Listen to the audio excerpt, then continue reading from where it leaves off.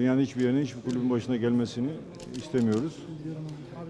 Ama olayın boyutlarını adli makamların araştırıp ortaya çıkarmasını ilgisi beklemesi lazım. Görüp yapmadan önce. Algı yönetmeye, e, algı oluşturmaya gerek yok diye düşünüyorum. Eğer böyle bir ciddi olay ülkenin bütün gündemini meşgul ediyorsa bunun üzerine algı yapılmaz ve üretilmez. Onun için adli makamların sonucunu beklememiz lazım. Olayın net şekilde ortaya çıkmasını beklememiz lazım. Çünkü olay amatörce yapılan bir olay değil.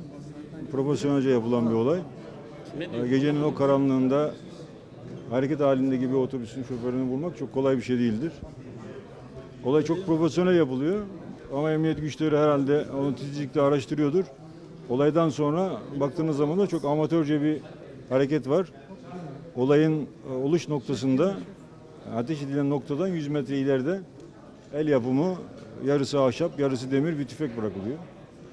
Böylesine profesyonelce bir iş yapan şahıs da demeyeceğim insanlık dışı insanların e, bunu gidip de 100 metre ileriye bırakmaz.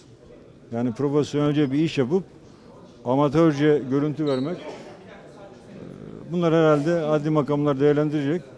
Onun için hepimiz sükunetle bu araştırmanın e, adli makamların ortaya çıkaracağı doneleri bekleyip ondan sonra değerlendirme yaparsak çok daha sağlıklı olur. Başkanım bu işin sportif ve siyasi boyutu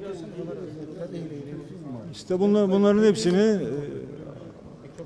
kolluk kuvvetlerinin araştırması bittikten sonra net bir şekilde ortaya çıkar. O zaman daha sağlıklı değerlendirme yaparız. Bir haftalık ertelemenin asıl nedeni aslında bu soruşturmanın açıklığa kavuşturulması olarak algılayabilir miyiz? O, o- şekilde algılamak doğru değil. E, Aslında Nasıl değerlendirdiniz? aslında prim vermek de doğru değil bu tür eylemlere. Yarın e, farklı bir olay olduğu zaman da yine iyilikleri mi erteleyeceksiniz?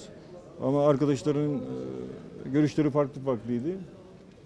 E, Sonuçta bir takım maçlarını erteliyorsanız o zaman bütün maçları da ertelemenin daha mantıklı olacağı görüşü hakim oldu. E, Bütün hem kupa ve hem lig maçları ertelendi. E, Ertelenmeyecekse bütün maçların ertelenmemesi lazım. Erteleniyorsa hepsinin ertelenmesi bana göre de doğru. Teşekkür ederim. Ben teşekkür ederim. nasıl değerlendiriyorsunuz efendim? Ben kimsenin kararını değil, şu anda karar değerlendirme değil, bu olayın aydınlanmasını hep beraber bekleyelim. Teşekkür ederim. tekrar ederim. Başkanım? Fenerbahçe kulübüne geçmiş olsuna gidecek misiniz? Evet, ofisimde toplantı var, oraya gideceğim ben. Sağ olun Sayın Başkanım. Teşekkür ederim. Yere bırakıyorum.